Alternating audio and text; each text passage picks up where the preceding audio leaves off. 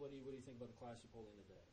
Well, I'm super excited about the class we brought in. I mean, uh, these young ladies are going to bring exactly what I want to Jackson State University.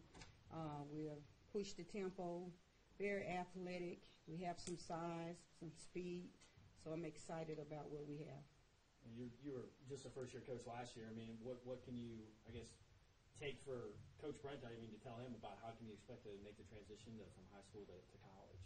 Uh, you know, you, basketball is basketball at the end of the day. Uh, definitely want to get some young ladies, uh, young gentlemen that fit your system and what you believe in, and incorporate that system and then believe in it.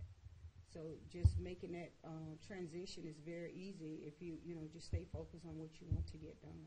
And for you, I guess, uh, how do you feel you're, you're building for your program right here with your with your next your second recruiting class?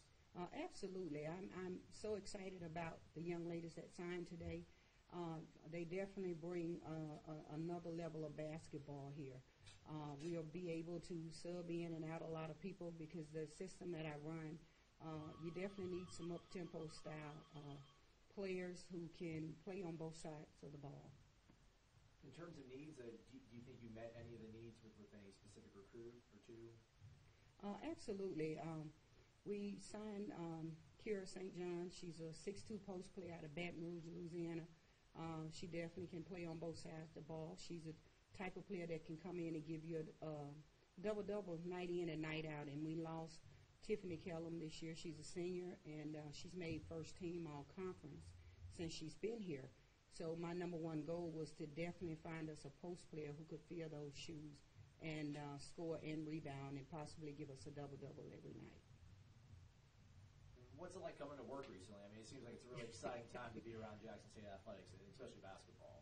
Oh, it's it's every day. It's not it's not like a job because when you do what you enjoy doing, it's not work. Um, my passion runs so deep for basketball, so I'm excited this time of year. Uh, you have commitments, but until you get them in writing, it's, it goes to a whole nother level. So to actually sign these five young ladies today and get it in writing, I'm just I just can't wait, you know, till I can get them here on campus and, and start working out with them. Appreciate it, Coach. Thank you. Thank you.